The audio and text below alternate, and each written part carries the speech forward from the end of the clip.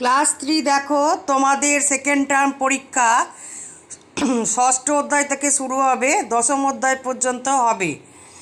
আজ আমি তোমাদের ষষ্ঠ অধ্যায়ে চাষাবাদ ও স্থায়ী বাসস্থান এটা পড়াচ্ছি। প্রথম অবস্থায় আদিম মানুষ ছিল কেবল খাদ্য সংগ্রাহক। সে বন জঙ্গল থেকে কেবল খাদ্য সংগ্রহ করত। বনের ফলমূল আর পশুর মাংসই ছিল তাদের খাদ্য।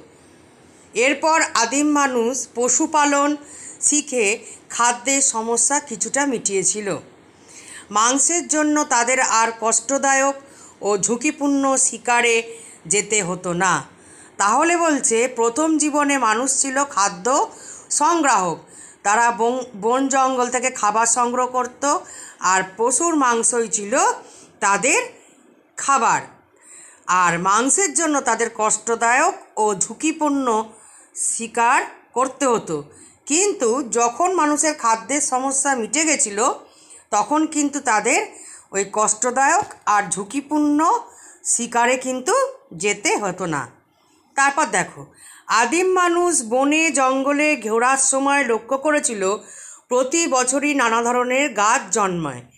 বড় হয় এবং একটি নির্দিষ্ট সময়ে ফুল ও ফল হয়। ফল মাটিতে পড়ে তা থেকে আবার নতুন গাছ জন্মায়। আদিম মানুষ ঘনে জঙ্গলে ঘুরতো, ঘুরে খাদ্য সংগ্রহ করত।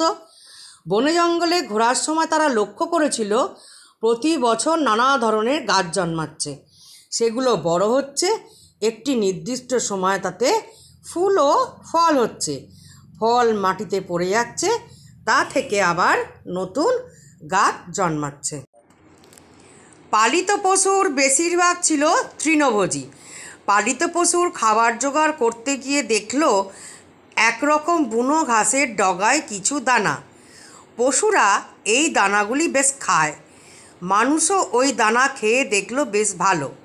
তারা দেখেছিল দানাগুলি মাটিতে পড়লে কিছুদিন পরে তা থেকে নতুন গাছ হয়। সেই নতুন গাছে আবার অনেক দানা বা বীজ জন্মায়। এসব দেখে আদিম মানুষের মনে ভাবনা শুরু হলো। তাহলে মানুষ যেসব পশু পালন করত, পালিত পশু তাদেরই বলা হয়, যেসব পশু তারা পালন করত। যেসব পশু তারা পালন করত, তার মধ্যে বেশিরভাগই ছিল তৃণভোজী। অর্থাৎ গরু, ছাগল, ঘোড়া, এরা তো ঘাস, ঘাসই খায়। সেই জন্য তাদের খাবার জোগাড় করতে গিয়ে মানুষ একরকম বুনো ঘাসের ডগায় কিছু দানা দেখেছিল। পশুরা ওই দানাগুলো বেশ খায় মানে খুব আনন্দ করে খায়। মানুষও ওই দানা খেয়ে দেখল বেশ ভালো। তারা দেখল দানাগুলো কিছুদিন পর তা থেকে নতুন গাছ জন্মাচ্ছে মাটিতে পড়ে যাওয়ার পর।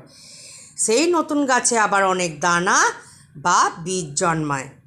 এসব দেখে আদিম মানুষের মনে ভাবনা শুরু হলো। তখন তারা বিভিন্ন জায়গা থেকে অনেক দানা সংগ্রহ করে নিয়ে এলো। কিছু পশুকে খাওয়ালো, কিছু নিজেরা খেলো, কিছু মাটিতে ছড়িয়ে দিল। মাটিতে ছড়িয়ে দেওয়া দানাগুলি থেকে নতুন গাছ হলো। নতুন গাছগুলি থেকে আবার অনেক দানা হলো। এ থেকে মানুষ বুঝলো যে বীজ বা দানা থেকে গাছ এবং গাছ থেকে শস্য জন্মায়। এখান থেকেই মানুষ চাষের কাজে মন দিল। বিভিন্ন জায়গা থেকে মানুষ কি করেছিল? অনেক দানা সংগ্রহ করেছিল। সেই দানাগুলো দিয়ে তারা কি করল? কিছুটা পশুকে দিল, কিছুটা নিজেরা খেলো, কিছুটা মাটিতে ছড়িয়ে দিল। মাটিতে ছড়িয়ে দেওয়া দানাগুলো থেকে নতুন গাছ হলো। নতুন গাছগুলি থেকে আবার অনেক দানা হলো। এ থেকে মানুষ বুঝলো যে বীজ থেকে বা দানা থেকে গাছ এবং গাছ থেকে শস্য জন্মায়। এখন থেকেই মানুষ কাজের চাষের কাজে মন দিল। আচ্ছা এই পর্যন্ত আমি তোমাদের স্কুলে পড়িয়ে দিয়েছিলাম। এবার খানিকটা আরও পড়াচ্ছি। আরও লক্ষ্য করল, ভিজে মাটিতে নতুন গাছ বেশ ভালো জন্মায়। এই অভিজ্ঞতাকে কাজে লাগিয়ে আদিম মানুষ নদীর তীরে বা জলাশয়ের ধারে ভিজে মাটিতেই প্রথম চাষাবাদ শুরু করল। প্রথম প্রথম মেয়েরাই চাষের কাজ করত। মাটি খোঁড়ার জন্য সরু পাথর বা হরিণের শিংকে তারা ব্যবহার করেছিল। ভিজে মাটিতে নতুন গাছ বেশ ভালো হয়। কেন? গাছের যে দানাগুলো ভিজে মাটিতে পড়লে বেশ মাটির ভেতর পর্যন্ত চলে যায়। সেই জন্য ভিজে মাটিতে আর নদীর তীরে বা জলাশয়ের ধারে এই থেকে গাছ ভালো হয়। শুকনো মাটিতে পড়লে যদি হাওয়া দেয় বা কিছু হয় তাহলে তখন সেগুলো ধুলোর সাথে উড়ে চলে যায়। তাই ভিজে মাটিতেই গাছ বেশ ভালো হয়। প্রথম প্রথম মেয়েরা চাষের কাজ করতো মাটি খোঁড়ার জন্য সরু পাথর বা হরিণের সিংকে কোদালের মতো ব্যবহার করত। অনেক পরে তারা গাছের ডাল দিয়ে নাঙল বানালো। ছবিতে তোমরা দেখবে নাঙলটা তারা কীভাবে বানিয়েছে। একটা গাছের ডালের সঙ্গে আর একটা গাছের ডালের টুকরো বেঁধে নিয়েছে। প্রথমে মানুষ নিজেরাই নাঙল টানতো, এতে পরিশ্রম হতো বেশি। পরে তারা বুদ্ধি করে পালিত পশু, গরু, মহিষ, গাধাকে নাঙল টানার কাজে লাগালো। একসময় নাঙলের আগায় তারা পাথরের ফলা যোগ করে দিল। ফসল কাটার জন্য তারা পাথরের কাস্তে বানালো। তাহলে কি বলছে? গাছের ডালের সঙ্গে ডালের টুকরো বেঁধে তারা প্রথমে কী বানিয়েছিল? নাঙল বানিয়েছিল। তারপর কি করল? নিজেদের টানতে কষ্ট হয় বলে পালিত পশুদের গরু, মহিষ, গাধাকে লাঙল টানার কাজে লাগিয়ে দিয়েছিল। তারপর আস্তে আস্তে পাথরের ফলা যোগ করে দিল। ফসল কাটার সময় তারা পাথরের কাস্তে বানিয়েছিল। প্রথম প্রথম ছোট ছোট জমিতে চাষ শুরু হলো।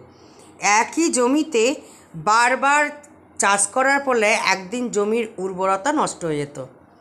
এই অবস্থায় তারা পাশের জমির ঝোপঝাড় কেটে জমি পরিষ্কার করে চাষাবাদ করে পরে এলো, চাষাবাদ করতো, তারপরে এলো সারের ব্যবহার। এলো কাঠের হাতল, লাগানো কোদালো লাঙল, এগুলো দিয়ে বড় বড় জমিতে চাষ শুরু হলো।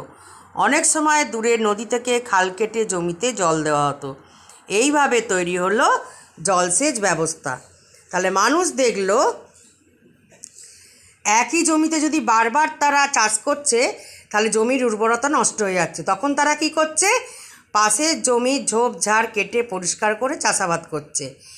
এরপর এলো কাঠের হাতল লাগানো কোদাল ও লাঙল। এগুলো দিয়ে বড় বড় জমিতে তারা চাষ শুরু করল। অনেক সময় নদী থেকে, দূরে নদী থেকে খাল কেটে জমিতে জল দেওয়া হতো এইভাবে তৈরি হলো জলসেচ ব্যবস্থা। তাহলে ক্লাস থ্রির ছেলেমেয়েরা তোমরা এই পর্যন্তই ভালো করে একটু পড়বে।